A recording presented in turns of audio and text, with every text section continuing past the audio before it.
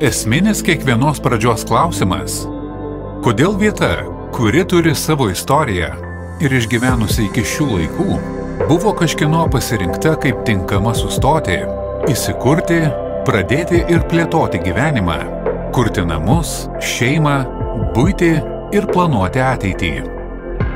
Niekas nežino tikslaus atsakymo, bet jei klausite apie prienus, žinome tik vieną.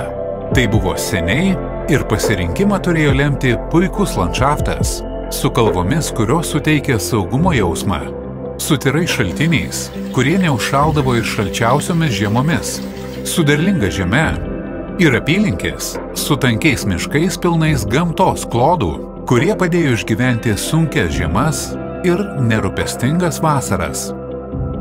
Legendos byloja tam tikras istorijas, bet jos ir lieka legendomis, apipintomis mistika ir nepagristais pasakojimais. Todėl mes suteikėme jums galimybę susipažinti su unikaliu, iškeliu savo istoriją ir laisvu Prienų miestu bei jo apylinkėmis.